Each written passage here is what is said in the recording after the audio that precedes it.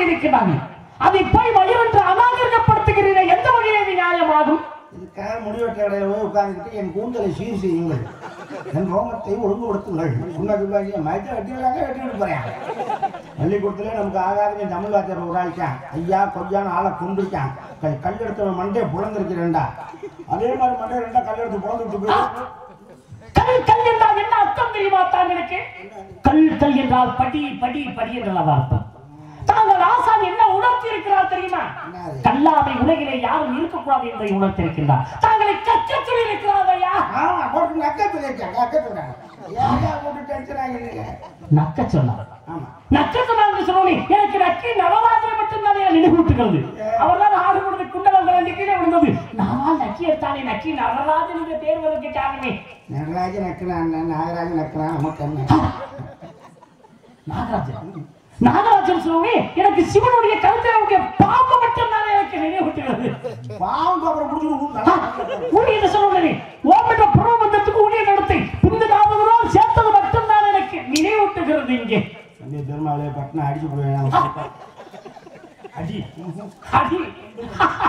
அடி என்று சொன்னோடனே எனக்கு திருவள்ளுவரை மட்டும்தான் நினைவூட்டுகிறது அவர்தான் ஒன்னே முக்கால் அடியில் எழுதுகிறாரே. திருவள்ளூர் பொண்ணே முக்கால் அடி இருந்துச்சு போய் பிடிச்சி பார்த்தேன். அவங்க அரை அடி வச்சுட்டு அது அரியடியில் சொன்னேன் எனக்கு லட்சணம் மட்டும்தான் நினைவூட்டுகிறது. அவர்தான் வனத்திலே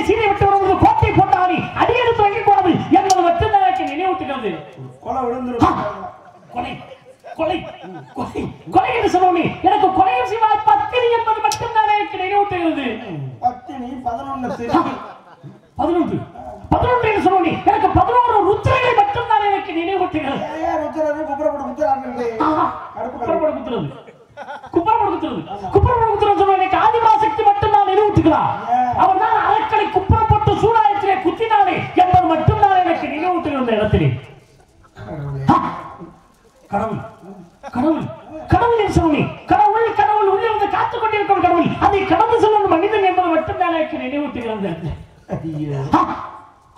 ஐயோ ஐயோ. ஐயோ. ஐயோ என்று சொன்னோனே எனக்கு எவனை மட்டும் தான் நினைவூட்டுகிறது எவனுடைய அருகில்தான் ஐயோ இருக்கிறார்? யாரும் அந்த வார்த்தையை பயன்படுத்தக்கூடாது என்பது மட்டும் தான் எனக்கு நினைவூட்டுது ஆ, இந்த விரலை காட்டியோனே எனக்கு கண்ணனை மட்டும் தான் நினைவூட்டுகிறது அதான் அன்னச்சத்திரம் இருக்கிற அந்த கண்ணை விரலை காட்டினானே என்பது மட்டும் தான் நினைவூட்டுகிறது ஆனா நீ வாயை பத்தியோனே எனக்கு வாதியை மட்டும் தான் நினைவூட்டுகிறது ஆனா நீ கீழே நினைத்தோனே எனக்கு லிங்கம் மட்டும் தானே எனக்கு. அதை நீ பின்ன பத்தியோனே முன்னையும் பத்திதான் பின்னையும் பத்தி நீங்க ஓடுவதை பார்த்தோனே ஓடி ஓடி ஓடி ஓடி உட்கார்ந்து ஜோதி ஓடலையா வந்துட்டு ஐயா பார்த்தோனே. எனக்கு திரௌபதி மட்டும் தானே எனக்கு நினைவு. அழுகல சிரிக்கிறேன். பார்த்தோனே எனக்கு ராவணேஸ்வரர் மட்டும் தான் நினைவூட்டுகிறான் அவன் நான் பத்து கரைகளை கொடுத்து தூக்க நினைக்க சிவபெருமா கட்டி வந்த அன்பு ஆதிவராசக்தி ஓட நீங்கள் வைக்கன்னு சொல்லுங்க உமது நன்மைக்கும் எமது நன்மைக்கும் இது நன்மைக்கு. இது இங்க வந்தமைக்கு நீயே வந்தமைக்கு. நீ வந்ததோ கடமைக்கு இதுவும் கடமைக்கு. பேசக்கூடாது தீமைக்கு இது தீப்பால் மைக்கு என்பது மட்டும்தானையா இந்த இடத்திலே நினைவூட்டுகிறது ஒரு மனிதனுடைய வாழ்க்கை தத்துவமே இந்த நம்ம பேசுவதை கத்துவதே இந்த மைக்கில் அமர்ந்து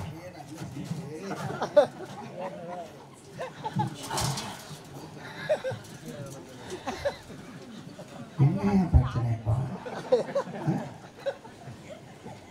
டீ மட்டும்தான் நினைவூட்டுகிறது மகாலட்சுமி ஐயனால் பசு இளநன்றால் சூரியன் கூஞ்சனால் பூமாதேவி தீயனால் அக்கிரியோவான் ஐவரும் குடி ஒன்றையுமே திருநாவினங்குடி முருகப்பெருமான் பலத்திற்கு கோபித்துக் கொண்டவனா பழம் நீ பணம் நீ அப்ப தீயனால் அக்கிரியோவான் மட்டும்தான் எனக்கு நினைவூட்டுகிற அந்த இடத்துல நீ உட்கார்ந்து பார்த்தோனே எனக்கு வால்மீகி மட்டும்தான் நினைவூட்டுகிறார் ஐயா, எந்திரிச்சிட்டு ஐயா, ஐயா. உட்கார்ந்தாவது, எந்திரிச்சாவது, ஐயா. ம்.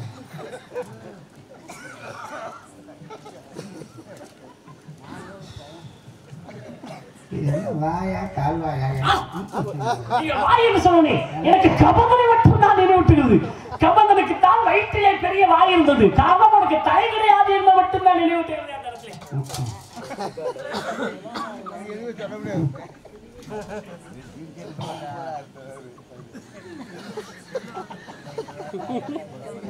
கோழிக்குண்டி தின்னது மாதிரி கோழிக்குட்டி என்று சொன்னோனே எனக்கு அந்த அந்தஸ்து மட்டும் கோழி இல்லாத முட்டி அண்டத பண்ணா முட்டி முட்டை இல்லாத குஞ்சு குஞ்சு என்பது கோழி குண்டி என்பது மட்டும்தான் தான் நினைவு. அது என்னை கொல்லாம கொலையும் செய்வார் பத்தினி என்று மட்டும்தான் எனக்கு நிலம் தெரிவித்து கொள்ளுங்கள் மனித கண்ணாடி என்பது. நெஞ்சு வலிக்குது. நெஞ்சு என்று சொன்னோனே மகாலட்சுமி இதயதாமல் அழைக்கிறான் மகாவிஷ்ணு அவன் இதயதாமல் அழைக்கிறான் என்ன காரணம் அப்ப இந்த நெஞ்சுக்கு அவனுடைய பெருமை கொடுத்திருக்கின்றான் அவன் நெஞ்சில் அழைக்கிறானே மகாலட்சுமி என்று. நெஞ்சில் அடக்கிறேன். அடக்கிறேன். சொன்னோனே காக்கைக்கும் கூட தர ஆக சம்பளம் சொன்னேன் புகழ் கல்வி வழி வெற்றி நன்மக்கள் பொன்னில் நூல்கள் இடுப்பில் இங்கே கை வைத்தோனே இடுப்பிலே கை வைத்தால் கூடி முன்னுரையை நீங்க கம்பை வைத்திருப்பா பார்த்தோடே கம்ப நாடால மட்டும்தான் நினைவு விட்டு ஆக நீங்க பின்னே கை வைத்து பார்த்தோடே கையை கட்டக்கூடாது சட்டை கழுவி திரியா பூஜா. சட்டையை கிழித்தால் என்று சொன்னேன் சட்டை மகாபலியின் அகத்தியர். ஆக நீ சொரிஞ்சதை பார்த்தோடே ஐயா. போதும். ஆ, நீங்க என்று சொல்லணும் ஒரு மனிதன் எதை போடும் இடுப்பிலே கை வைத்த பார்த்தோடே கூடி விட்டு கூடி விட்டு நீங்க பேசாமல் இருப்பதை பார்த்தோனே பேச வைத்தாலே கலைவாணி மட்டும் நான் நிறுவற்றுகிறேன் நீங்க பார்வையை பார்த்தோனே தலையை சொல்லி பார்த்தோனே இட்டமுடன் ஐயா. போதும். ஒரு அளவுதான் அகல் அளவு நிப்பாட்டியா. தொண்ண, தொண்ண, தொண்ணன்னு ஒரு மனுஷன் அளவு இல்ல வாயை திறந்த அவசரம் வாயா எவ்வளவு பேசணும் இல்ல கணக்குல ஆ? நாம வேலை வெட்டி பேரா எனக்கு ஆயிரம் வேலை இருக்கு இந்த இவ்வளவு பேசுறேனே வாயத்திலிருந்து ஒரு வார்த்தை பேசுறியா ஏய், எட்டா தலையா? ஆ, அப்படின்னு அவசரம். ஊ, அப்படின்னு அவசரம். நிறைய பேசுவியா? ஹா என்றால் என்ன உயிரெழுத்து வந்தம்மா, பேரை கொடுத்தம்மா, போனோமா. இவ்வளவு பேசி ஒரு ஒரு விஷயத்தை சொன்னோம் ஒவ்வொரு ஸ்தலத்தை பேசி எவ்வளவு புராணங்களை பேசி இதிகாசங்களை பேசி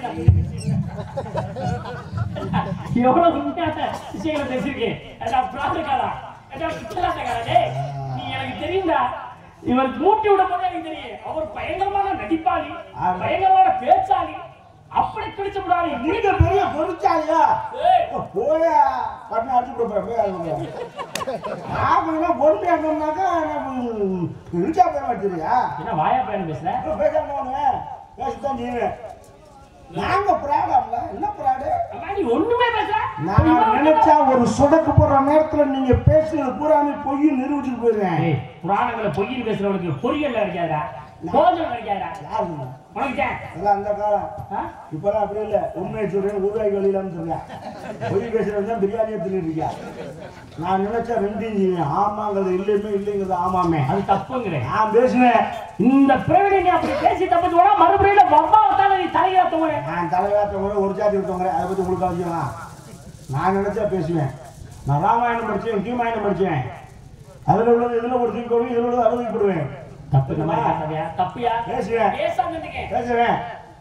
நான் எந்த உண்மையை பேசினாலும்? பொய்யினுமே. நான் நினைச்சேன் தெரியுமா? நான் பொய்ய கூட பேசிட்டு அதை உண்மைன்னு சொல்ல வச்சிருவேன். நான் பொய்யா பேசினாங்க பொய்ய பேசிட்டு உன்னை உண்மைன்னு சொல்ல வைக்கிறேன். போட்டிடா ரெண்டாயிரம் ஓட்டி ரெண்டாயிரம் வந்தேன். நான் பொய்ய பேசினாலும் அது உண்மைன்னு சொல்ல வைக்கல. இனிமே நான் கட்டை பிடிக்கல. வெட்டியா காசு வாங்கிட்டு போயிருவியா? யாரா காசு சொல்ற கேள்வியா நானா? ரெண்டாயிரம். சரி வாயா சமாளிக்குமே ரெண்டு நாலு அதில் ஒரு ஏழு பதினொன்று ரைட்டு. ஒம்பது ரூபா பீஸ் கட்டினாலும் ரெண்டு மனுஷன் காசு காசு எடுக்க? ஓ பன்னெண்டு கட்டின யாரு? நான் பந்தயம் மட்டுமே கட்டுவேன். தாயோட சரியா? காசு எடுத்தாங்க இப்ப சும்மா வருது இங்கெல்லாம் யாருக்கும் காசு இருக்காது இந்நேரத்தில் கொடுக்குறது காசு யாருங்க நேரம் முடிஞ்சாதான் காசு கொடுப்பான்னு தெரியும் இந்நேரத்தில் விட்டாங்க ரெண்டாயிரம் ரெண்டு ஆட்டோ சீ குடிக்க கூட காசு இருக்காங்க நமக்கு தெரியாதா சரி சரி வாங்க போய் யார்ட்டும் அழுது நடக்காம ஏய், பணத்தை வச்சுட்டே கையில சின்ன பாரு மாத்திராம கடை பன்னெண்டு மணிக்குள்ள தருவாங்க ஒரே குத்து வாயை கிழிச்சு விடுவேன் டேய் அதெல்லாம் அஞ்சு மணிக்கு திறந்துடுறாங்க. ஏய் கடை தானே சொல்றேன் டீக்கடையிலே விட்டுறாங்க அப்போ. சரி சரி ஆரம்பி ஆரம்பி எதை? பணம் கட்டி ஆச்சுல ஆரம்பி இதை என்ன நான் தான் ரெண்டாயிரம் கட்டிக்கு நீ ரெண்டாயிரம் கட்டு. காசு தான் பெருசுட்டு ஒட்டியாச்சுல்ல வந்து ஜெயிச்சா நாலாயிரம் வாங்கிக்க அது வேண்டியதில்லை. நான் என் பணத்தை ரெண்டாயிரம் கொடுத்துட்டேன். ஓ ரெண்டாயிரத்தை காத்தியா பணம் இல்லாம நீ நான் கொடுத்துட்டேன் அப்புறம் ஏய் இது என்னோட யார் ஓட காந்தி ஓட்டா இருக்கா உங்க ஓட்டா இருக்கா காந்தி இருக்கு? அப்புறம் என்ன போகணும் என் கூட ஓட செல்லாதுன்னு சொல்லுங்க காந்தி ஓட்டம் தெரியுது இல்ல அப்புறம் என்ன? உங்க பணம் என்கிட்ட இருக்கு என் பணம் உங்க இருக்கு. ஏன்டா, நான் பூத்தவன் படம் அடையாளம் தெரியாதாடா. அதெல்லாம் தெரியுங்க எல்லா பணமும் கவர்மெண்ட் பண்ணுங்க இருநூத்தி இருபத்தெட்டு தொள்ளாயிரத்தி எண்பத்தி ஏழு நானூத்தி முப்பத்தஞ்சு ஐநூத்தி ஒன்பது அவன் பணத்துக்கு நம்பர் பார்த்துட்டு என்ன சொல்லத்தான் அதே நம்பர் தான் என்னது. பணத்தை கூட காசு உங்க மாதிரிலாம் போய் ஒருத்தர் கை நீட்டி வாங்குற பழக்கம் எனக்கு கிடையாது. இருபத்தி நாலு மணி நேரம் அன்றாயிரம் ஐம்பதாயிரம் ரூபாய். நீ ட்ரௌசர் போடுறதே இல்லையே. அதனால தான் காசு எடுத்து வைக்க முடியல நாட்டு அவங்க தலைவா ரெண்டாயிரம் இருக்கணும் அதை செய்து தரேன். வாடா பிச்சைக்கார பையன் உன்கிட்ட போய் நான் கேட்கிறேன் ஏய், பணம் இல்லையா போட்ட? ஃபைனான்சிங் இருக்குல்ல இங்க யார்ட்டையுமே பணம் யார்ட்டையும் இல்லடா? நந்தினி ஃபைனான்ஸ்ல பத்து வட்டி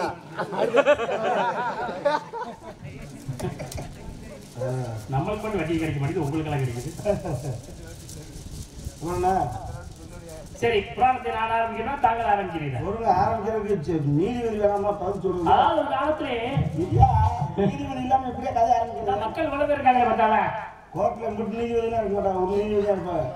இப்ப எங்க வருது நம்ம ஆள் இருக்கு அதுக்குலாம் ஆள் யாரு? நான் எப்பவுமே நம்ம நீதிபதிலாம் வர மாட்டேங்க நீயா? ஓய்வு பெற்ற நீதிபதி வேணும். அப்படின்னா தொண்ணூறு வயசுல இருக்கேன். ஆஹா, ஒரு வாலின்றா ஓய்வு எழுதி கொடுத்து வந்தவர் எத்தனை வயசுல? இருபத்தி ஏழு உங்களுக்கு அப்போ நீதியை பத்தி என்னன்னு தெரியல. நீதி தெரிஞ்சதால அங்க நீதி இல்லைன்னு பேர் வந்துட்டான். ஒரு நீதியும் இல்ல. அந்த நீதி பூரா பொய் இல்லாதமா இருக்கு. தெரிஞ்சா தானே அவனுக்கு.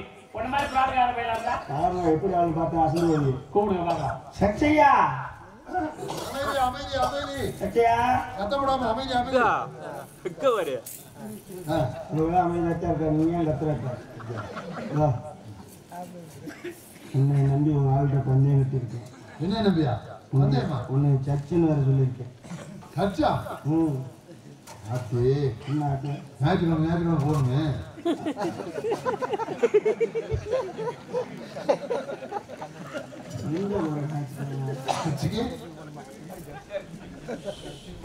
நம்பி பந்தே அவன் பற்றி சர்ச்சுக்கு போகிறதுக்கு என்ன இருக்குது நீ சர்ச்சுக்கு போக சொல்லடா உன்னை சர்ச்சு நீதிபதினு அப்படின்னா? ஐயோ. என்ன சாமி? நீதான் நீதியோட நாட்டாம. ஓ பஞ்சாயத்து பண்ணணுமா? இதை முதல்ல சொல்ல முடியாது ஓம்பானியில சொன்னாச்சான் உனக்கு வருமோ. அதே அதே